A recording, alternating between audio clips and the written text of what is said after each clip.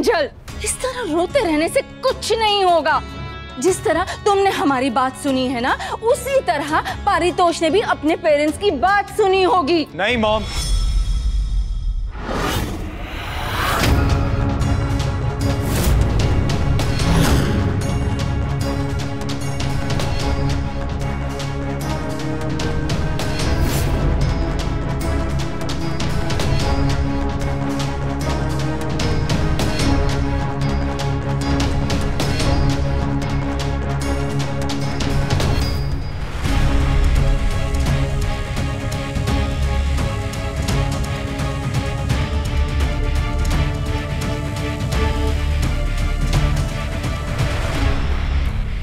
पारितोष ने अपने परिवार की नहीं, अपने दिल की सुनी है मम्मा।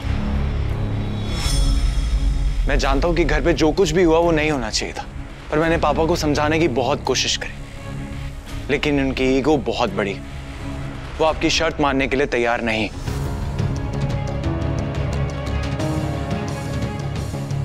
इसलिए मैं अपना घर छोड़ के यहाँ पर आ गया हूँ। किंजल के लिए अपना घर अपना परिवार सब कुछ छोड़ के आपके सामने।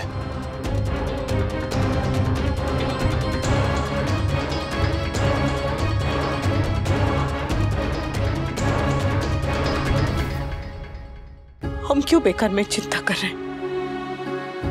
देखना तो सु लौट आएगा। वो जॉगिंग करने नहीं गया अनुपमा। घर छोड़ के गया।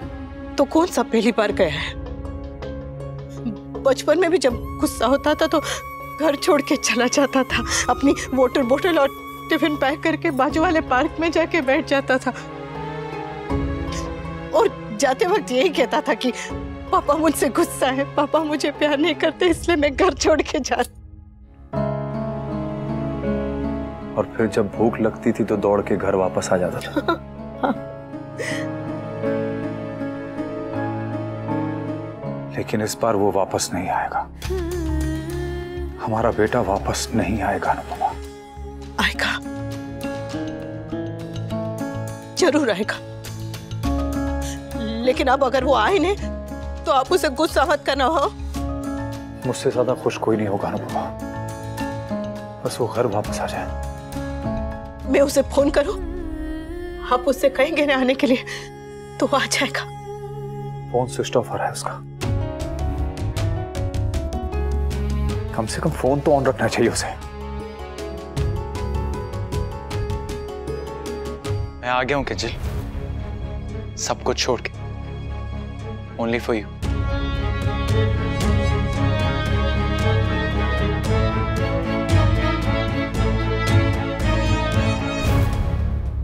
पारितोष मैं जानती हूँ कि तुम दोनों एक दूसरे से बहुत प्यार करते हो।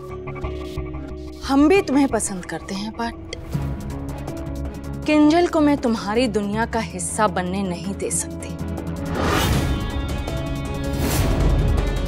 लेकिन एक तरीका है जिससे ये रिश्ता जुड़ सकता है। अगर तुम हमारी दुनिया का हिस्सा बनने को तैयार हो तो ये शादी हो सकती है।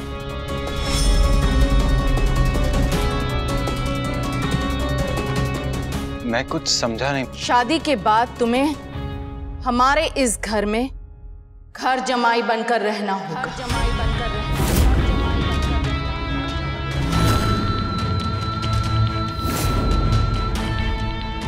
मंजूर है?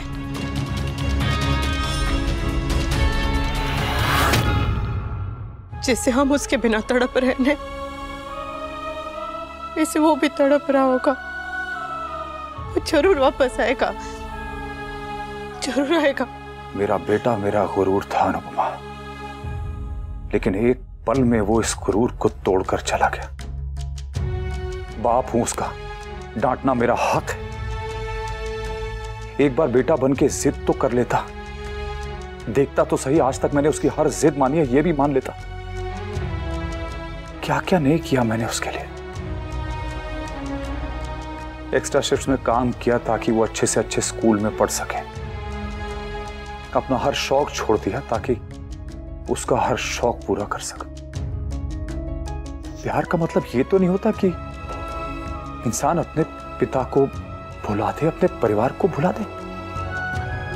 आज तक मैं उसका हीरो था। अब अचानक विलन हो गया। ऐसी क्या कमी रह गई हमारी परवरिश में? जो हमें यह दिन देखना पड़ा।